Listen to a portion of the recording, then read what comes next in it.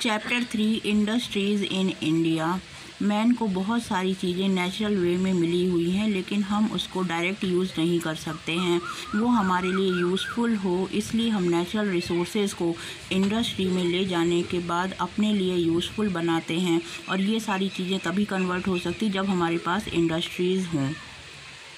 Industry में हम natural resources को कन्वर्ट करते हैं ह्यूमन बींग्स के यूज़फुलनेस के लिए। Types of industries in India on the basis of ownership.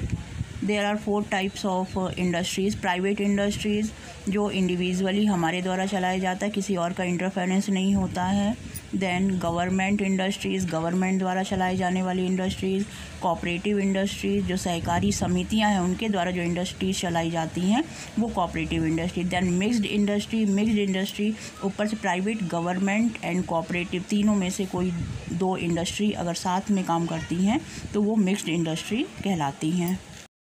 On the basis of utility on the basis of utility there are two types of industries basic industries and consumer industries basic industries which provide the basic for other industries दूसरी industry के लिए material provide कराना like iron and steel industry consumer industries which produce consumer goods like textile sugar paper etcetera on the basis of size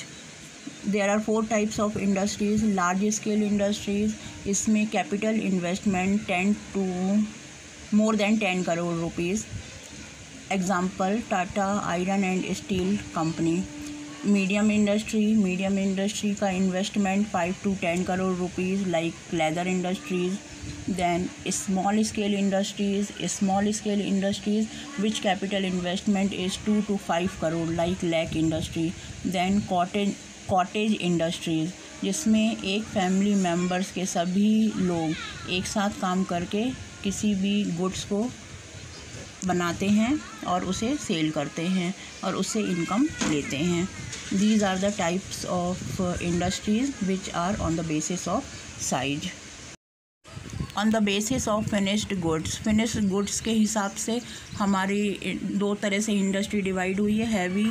industries and light industries heavy industries में हमारी heavy machines वगैरह produce होती हैं tractor manufacturing and light machine में हमारे toys और light weight material